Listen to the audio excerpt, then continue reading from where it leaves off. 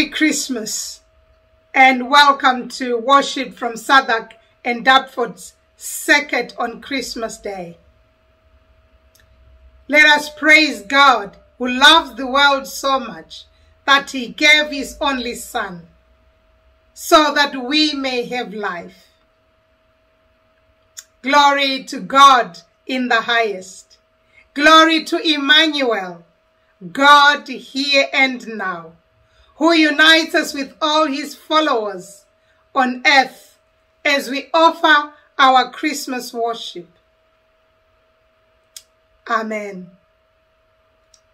We light the center candle on the Advent ring and join together to sing, O come, O ye faithful.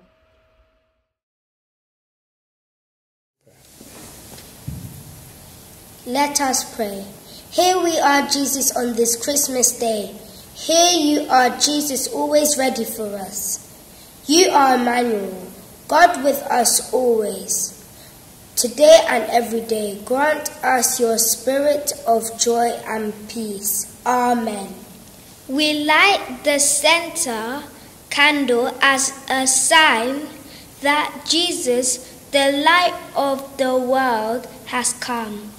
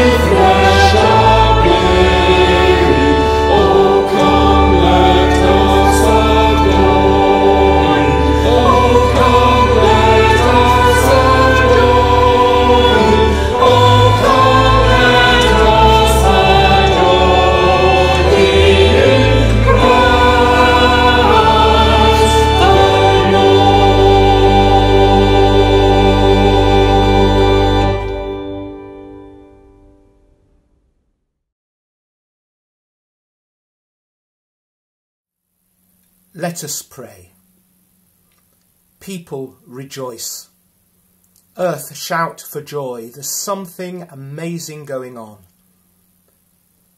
We praise you, God, for you have done a completely new thing, something totally unexpected, something we can hardly imagine. The creator of the whole universe born as a tiny baby. Salvation long promised has come to earth.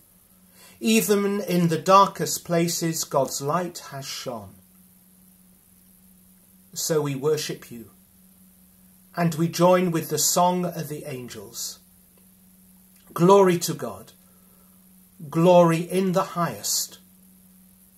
Amen.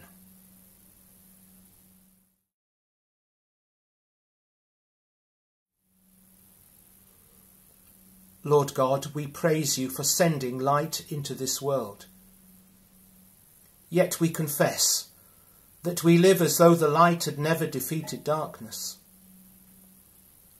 We confess that we ignore the Saviour you sent to be among us and to live in us. We've kept the birth of your Son confined to this season of Christmas when we shall pray for his coming every moment in our lives. Open our eyes to see Jesus in our midst. Prepare us for his return. Help us rejoice in the light so that your grace and mercy can illuminate even the darkest places of our lives. We ask this in his name. Amen. A reading from the book of Isaiah, chapter 9, verses 2, 6, and 7. The people walking in darkness have seen a great light. On those living in the land of deep darkness, a light has dawned. Verse 6. For to us a child is born, to us a son is given, and the government will be on his shoulders. And he will be called Wonderful Counselor, Mighty God, Everlasting Father, Prince of Peace. Of the greatness of his government and peace there will be no end. He will reign on David's throne and over his kingdom, establishing and upholding it with justice, righteousness from that time and forever. The zeal of the Lord Almighty will accomplish this. Here ends the reading. Thanks be to God.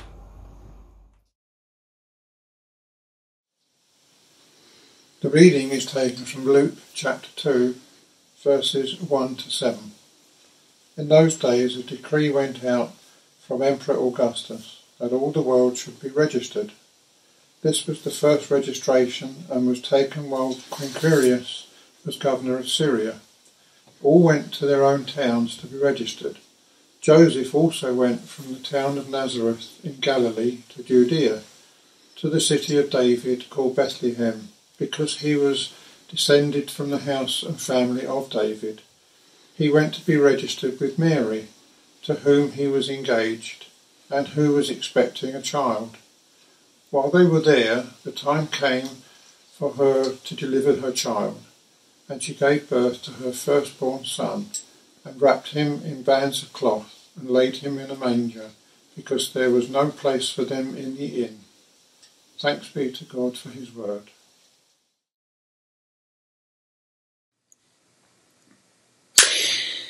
Well, today is Christmas Day, and on behalf of the Southwark and Deptford Circuit, I wish you all a very happy Christmas. And of course, it is a very different Christmas to how we might have planned because of all that we've been through in these last months. Well, behind me you can see two nativity scenes, um, one of which is very special. It is made out of uh, cardboard and tissue paper, and it was made by a member of one of my churches in New Malden in southwest London um, some years ago when she worked with uh, older people.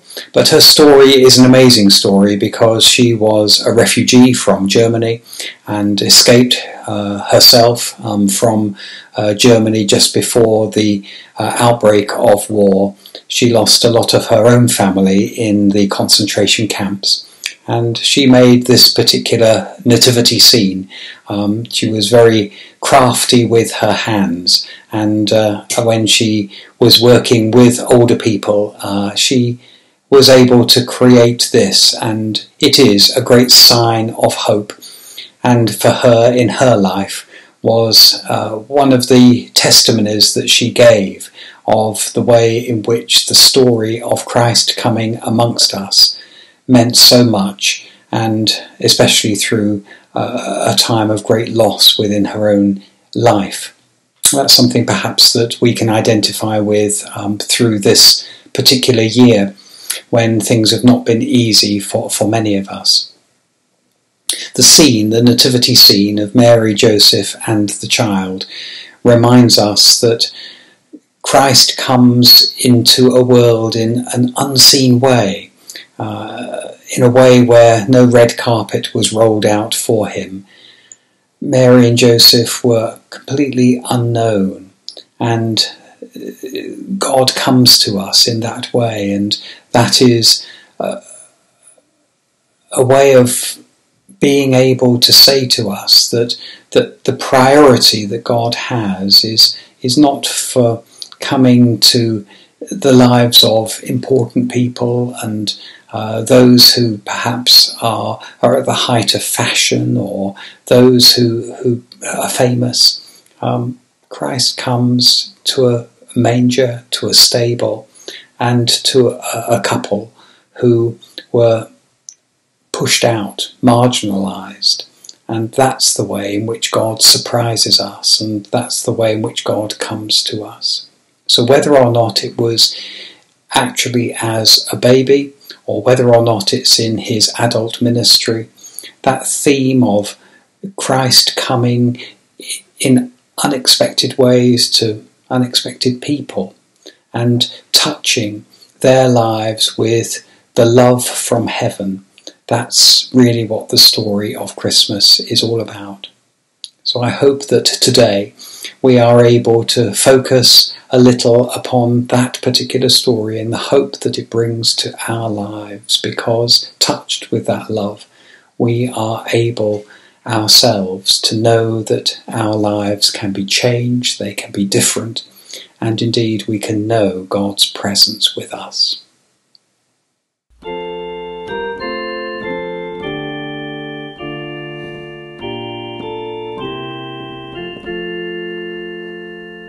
In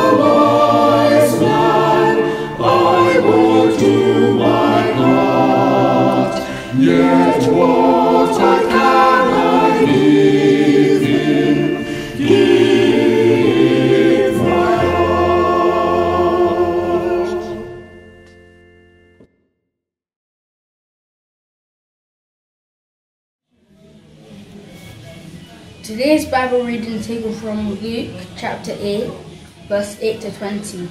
I read And there were shepherds living out in the hills nearby, keeping watch over their flocks at night. An angel of the Lord appeared to them, and the glory of the Lord shone around them, and they were terrified. But the angel said to them, Don't be afraid. I bring you good news that will cause great joy for all the people. Today in the town of David, a Savior has been born to you. He is the Messiah, the Lord. This will be a sign to you. You will find a baby wrapped in clothes and lying in a manger. Suddenly, a great company of heavenly hosts appeared with the angel, praising God and saying, Glory to God in the highest heaven, and on earth peace to those who whom his favor rests.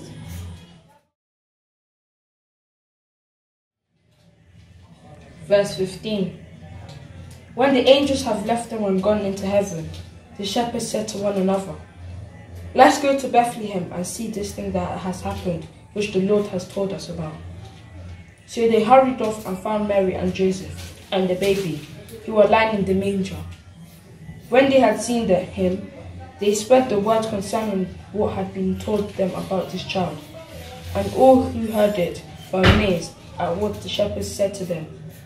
But Mary treasured up all these things and pondered them in her heart. The shepherds returned, glorifying and praising God for all the things they had heard and seen, which were just as they had been told. This is the end of the reading.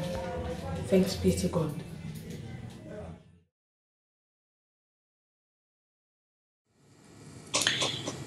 We've listened to the story about the birth of Jesus. We've now listened to the story about those who came to see Jesus, first of all. There aren't really any shepherds living in London any longer, but there are people who are called shepherd, Mr. and Mrs. Shepherd. There's probably a Mr. and Mrs. Lamb as well, and a Mr. and Mrs. Wiseman. But the shepherds who came to see Jesus were real shepherds. They were people who were working even at night. And what a special night that was when the heavens opened and they heard the angel song, the message that heaven has broken into the realms of earth, and we are able to sense God's love in a real way. How do we do that? Well, the shepherds were told to go down to Bethlehem. And they went, and they saw, and they received that message that God has come to the lives of an ordinary family, born in a stable in a backyard behind an inn. And if we needed any confirmation, there we have it that the first visitors who came to see Jesus and Mary and Joseph were again ordinary people, reminding us that God comes to us in ordinary ways, but He makes our lives extraordinary. And that's the message that we have this Christmas that the touch of God's love in our lives makes each one of us special. Mary and Joseph had to go to be counted it was a census that had brought them to Bethlehem. Just because you're counted, it doesn't really mean that you are always going to count in the eyes of others. So, whether or not you're like Mary and Joseph, or whether or not you are just one among many shepherds, we remember that God comes to ordinary people's lives, to you and I, and indeed brings to our lives the promise of change, forgiveness, hope, peace, so many gifts at this Christmas time, and not just at Christmas time, but throughout our lives. May I wish you today a very happy Christmas in the way in which you are able to celebrate alone or indeed with others. We hope that through these coming weeks that as we get back to being in church, if you are able, or indeed as we are able still to worship as we are at the moment through a virtual service, we pray that together we may discern God's love within our lives, its potential for us in bringing to fulfillment all that He wants to do, and how He can work through each and every one of us. Every blessing then for this day, through these last days of 2020 and as we move into this next year. May God's blessing be upon us all. Amen.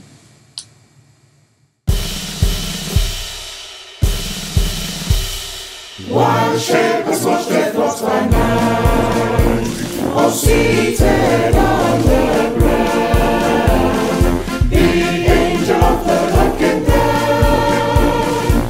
The angel of the Lord came down, and glory shone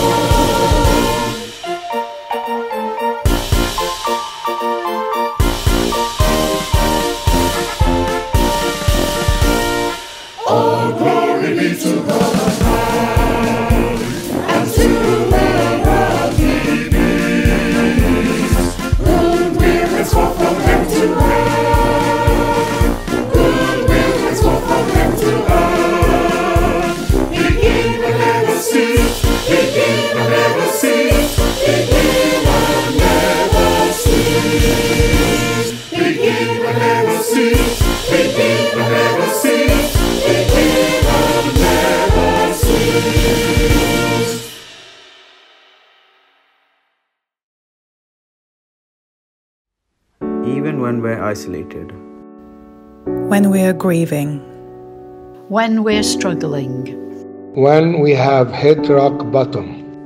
We're never alone. This year has been unbelievable. But we have pulled together. We've worked hard to care for people, to feed people, to help people, to heal people. And we've said loud and clear that people matter more. That injustice is unacceptable. That our community is vital. Our buildings have been closed. But we have been at work. God's love is uncontainable. In times of despair. And in times of hope. You are loved. This Christmas and always, whoever you are, and whatever you have been through this year, God is with you. God, God is with me. me. God is with us. God is with us. God is with us. God is with us. God is with us. God is with us. God is with us.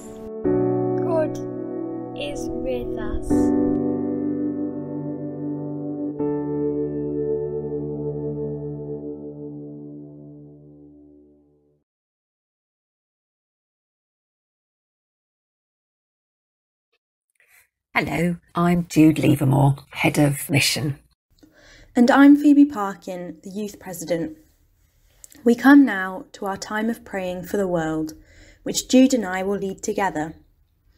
So let's take a moment of quiet together now to rest in God's presence. Let us pray. Loving God, in the beginning, Adam and Eve walked in your garden amongst the beauty of your creation. And they were not alone, for you, God, were with them. We give thanks for your wonderful creation and ask that you inspire us and the leaders of the nations to protect and care for all life on earth. Loving God, in your time you sent your Spirit to Mary, and she was not alone in her pregnancy, for you, God, were with her. We pray for all those who can't visit friends or family or attend church this Christmas, and we each pray for our own community and home church at this time. Loving God, when Mary and Joseph travelled to Bethlehem for the census, they could find no room at the inn. But they were not alone, for you, God, were with them. We pray for those who live in and around Bethlehem today, for peace and mercy in the Holy Land. Loving God, when others feared the arrival of your Son, the Holy Family fled their homeland, and they were not alone, for you, God, were with them. We pray for all who are forced to flee their homes today, that they find welcome and love in a new land. Loving God, when the time was right, you gave your only Son to save us and all humanity, and he was not alone on the cross, for you, God, were with him.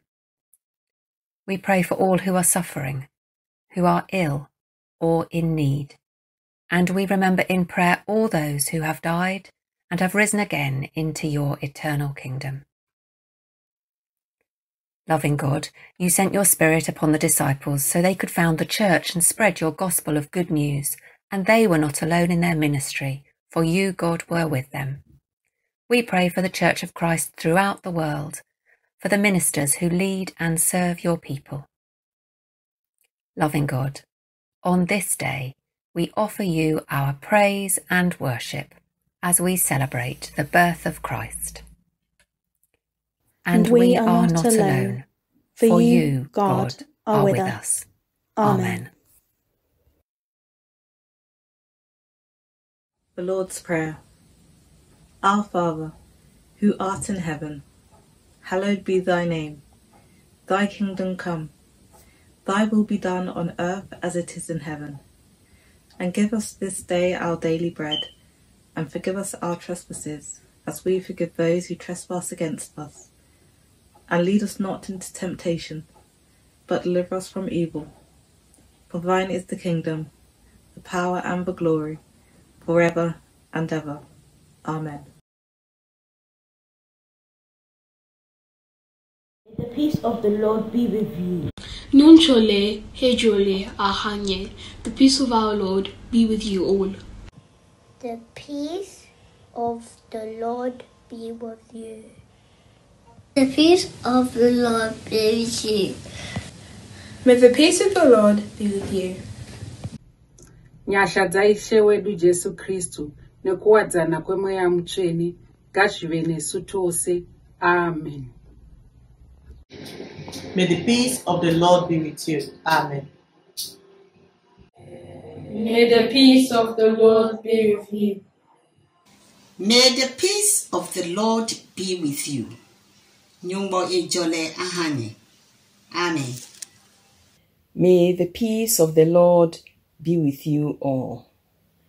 Nun chole hi jole ahanye fe. Afi o afi. Afi aya ni bani nao. Amen. May the peace of the Lord be with you. The peace of the Lord be with you this Christmas.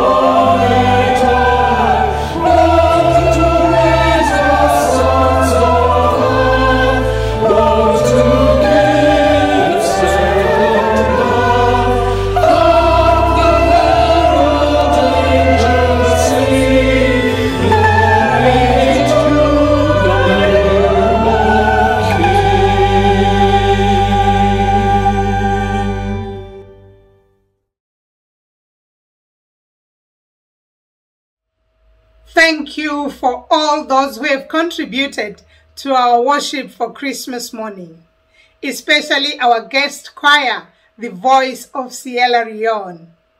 In a moment, the voice of Sierra Leone will play out our service. So get ready and dance and celebrate Christmas this morning. But first, a blessing. May the joy of the angels, the eagerness of the shepherds, and the perseverance of the wise men, the obedience of Joseph and Mary, and the peace of the child Christ be yours this Christmas. And the blessing of the Almighty God, Father, Son, and Holy Spirit be among us and remain with us now and always. Amen.